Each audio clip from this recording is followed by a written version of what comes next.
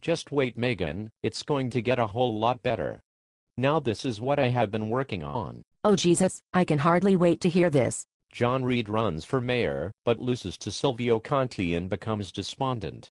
He starts making himself invaluable to Silvio in his underground mob world, engaging in bribes and doing seedy business. He eventually becomes what the Italians call a capo, an officer, soldier, etc. His new way of life becomes very shady and dangerous, and he tries to make his political dreams come true dishonestly. Wait, wait. Silvio is a kind mobster who looked out for the community. He respects the Ryan family greatly. Haven't you been paying attention to the wonderful friendship that has unfolded between Maeve and Silvio? I don't think he'd re-kid her grandson into a potentially dangerous lifestyle. He does not want to divulge any part of his mafia dealings to the Ryans whatsoever. Silvio has been revealed to be the biological father of Jack Fenelli. Maeve and Johnny still consider Jack like a son. Therefore, Silvio is like family now, and would do anything for the Ryans. John Reed Ryan doesn't get elected mayor, so Silvio recruits him to work for the mob. John Reed can have his chance to move up the political ladder that way. Family helps one another.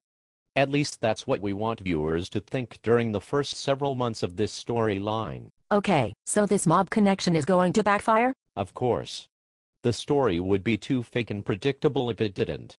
Silvio trusts John with his plans to knock down Riverside Hospital in favor of a casino, but John, who is dead set against it, stages a protest and turns his back on Silvio.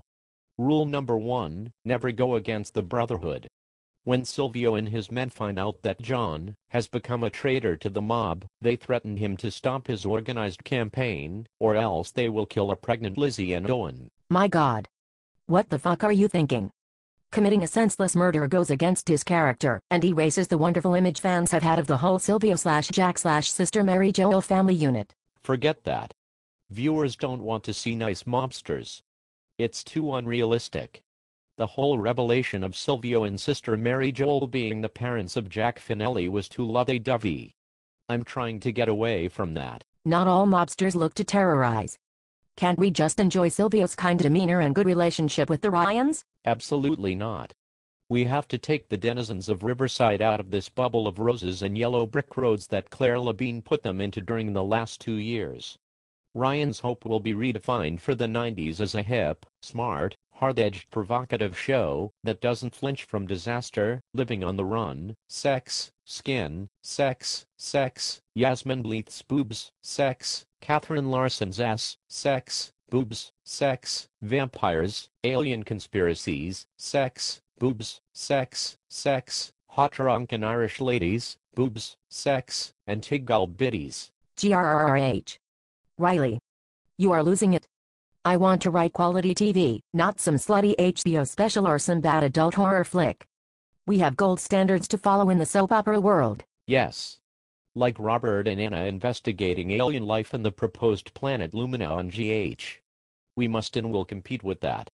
Aside from the mob plot, I'm convinced that Siobhan and Fenno will be the next Robert and Anna, although in a vein different from that of Siobhan and Joe Novak. The Siobhan and Fenno pairing I am also beefing up.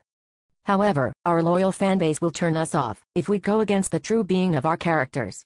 Do you honestly think we'll finally make number one in the ratings this way? We need to pull stunts in order to make that happen. We may be on the fast track now to finally make it possible, but I don't want to wait until I'm 70 to see this happen.